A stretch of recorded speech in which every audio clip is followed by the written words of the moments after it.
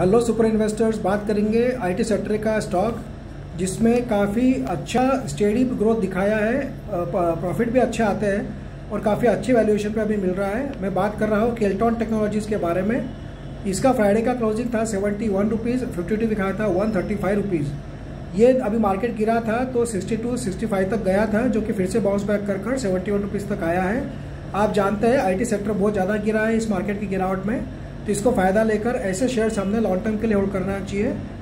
Friends इसका P अभी only nine के पी पे मिल रहा है ई पी एस है सेवन का।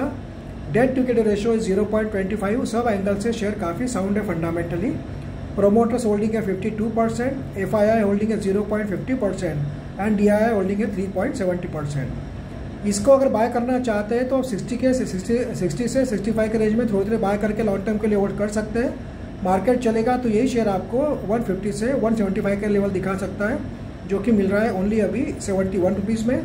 इसके क्वार्टर रिज़ल्ट भी अच्छे आते हैं फ्रेंड्स मार्च 21 में 19 करोड़ का प्रॉफिट था दिसंबर 21 में 18 करोड़ का प्रॉफिट था एंड एंड मार्च 22 में 19 करोड़ का प्रॉफिट था।